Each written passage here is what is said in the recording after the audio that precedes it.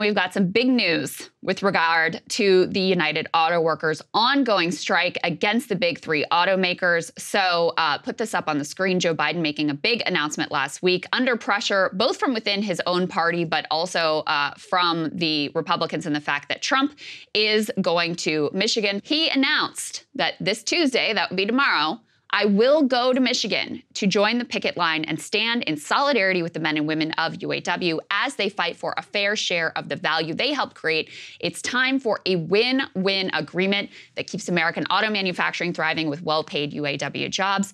Put the next piece up on the screen. So, as far as we know, this is actually the first time that a sitting president has ever gone to stand in solidarity with workers at a picket line. Uh, I was talking to Jeff Stein at the Washington Post. He has been talking to labor historians to find out if there's any precedent for it. Um, no one quite knows 100% for sure. Yeah. But, you know, that seems to be an indication that this probably never happened before. What they keep saying is at least in 100 years, this hasn't happened. Maybe something happened earlier in the history of the Republic. But you would think it would be, have been a big enough deal even at that time for there to be some sort of news and recording of the event. So, as far as we know, this is the first time a sitting president has walked a picket line. Per Mother Jones, they say it's not unusual for politicians to walk a picket line. Candidates often make a point of dropping by with donuts and coffee. In 2020, Biden did march outside the Palms in Las Vegas with casino workers, but no sitting president has ever walked a picket line with striking workers. They have historically been much more prone to extravagant shows of solidarity with the companies that are trying to break those strikes. And they recall that in 1894, Grover Cleveland sent 2,000 federal troops to Chicago to break a railroad strike. Um, Biden has yet to announce exactly where in Michigan he will be, but they say it's a safe bet that wherever he ends up going, the National Guard, thankfully, will not be coming with him. So this is a huge deal. Um, it really is. There's no way to sort of oversell this. Uh, Democrats had increasingly been pushing him to go. You'd already had a number of Democratic politicians, including John Fetterman and Ro Khanna and other local uh, Michigan representatives, who had shown up on the picket line, especially after Trump announced that he on debate night is going to give a speech to union workers, past and present. Um, I think they felt increasing pressure that Biden needed to, you know, do a little more and be a little visible to stake his claim that he is the person who is really truly standing alongside these workers.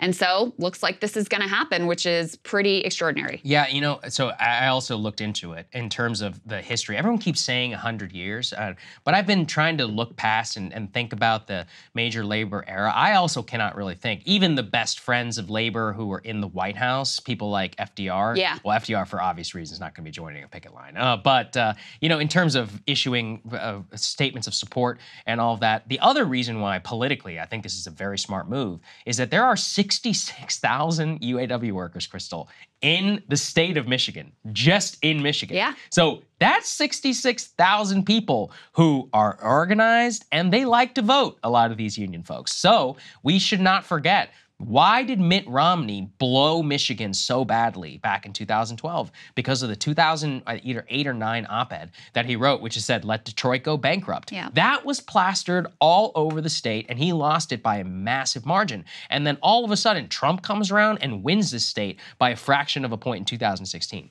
That is one of the craziest things that has ever happened. Well, why did Trump win it? Because A, a lot of people stayed home, a lot of urban voters who did not feel excited by Hillary, and he split the union vote vote by a pretty historic margin for a, a Republican presidential candidate. And it was largely on talk of Lordstown, it was talk of GM, it was talk of NAFTA, and it was specifically speaking to a lot of these people concerned. So, one of the reasons why I think that this is actually a net benefit is we finally have two candidates who are courting union workers in the state of Michigan, which is a complete inversion from the Obama era. Like, I'm kind of with you, you know, but I'm still embracing NAFTA, free trade, and all this other Right. stuff, which is screwing you as opposed to Romney, who's like, no, no, no, I literally want to see you die and collapse. Um, so to see that inversion is, uh, and, of course, look, it's all in rhetoric, but you know, rhetoric at least precedes something usually. Uh, to see that happen, I think is a very is a very net benefit to the country. Um, Trump, in terms of his record as president, as you guys know, was a horrific union buster. There's no doubt about it. However, I do think the fact that he rhetorically approaches these issues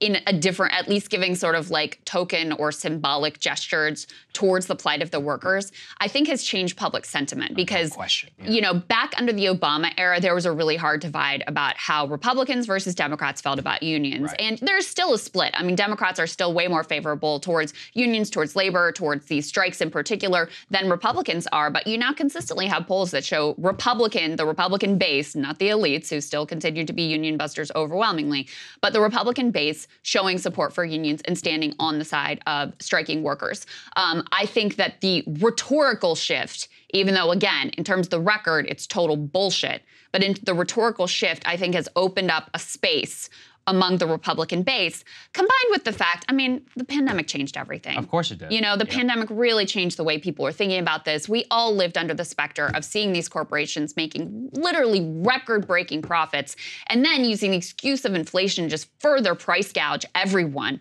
And so, you know, that kind of change the way people feel about these labor disputes. So not only is it smart because Biden is kind of one-upping Trump here in terms of what he's actually doing. Trump isn't speaking directly to the auto workers. There isn't any expectation he's going to walk the picket line. All his rhetoric has been on the one hand, like I sort of in theory support the workers and screw electric vehicles. On the other hand, like this kind of anti-union, union boss, traditional Republican language.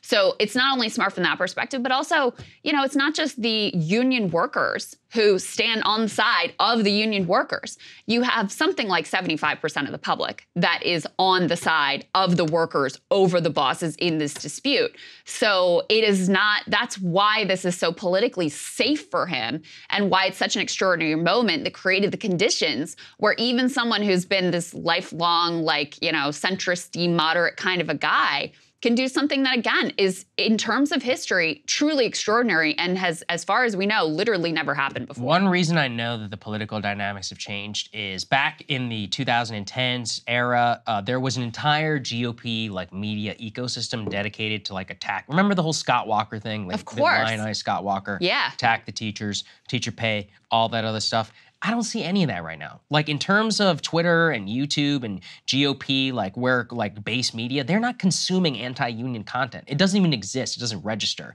But a, I think that's two things. One is obviously the base has moved long past, or they agree. You know, in many cases, a lot of these people culturally are very much with the Republican Party, so it's a little get it gets a little you know queasy if you're trying to attack their overall economic demands. But as you said, Trump has just moved on from that. He's pushed a lot of the people, the most MAGA type influencer. Have not seen one single individual, a Charlie Kirk, Jack Posobiec, any of these folks attack the UAW strike. If anything, they've posted stuff. ben that is, shapiro uh, has well, see, he's last- different. Shapiro Yeah, is. I a- mean, he's not a Trump Shapiro guy. is not a Trump guy. He is an OG member of the Tea Party, the Libertarian fact. I mean, remember he was attacking Trump for being too liberal back in 2016. So I would not put yeah, Shapiro just, in that. One. I'm just saying there is Yeah. still some union busting conservative media out there. So it's not like it's all gone, but the moment is very different from, I mean, Scott Walker in Yes. that moment, That that, was was, totally like the different. conservative cause celeb. Exactly. Chris Christie Right. came to Republican conservative prominence from like yelling at teacher unions and being super anti-union in the state of New Jersey. And so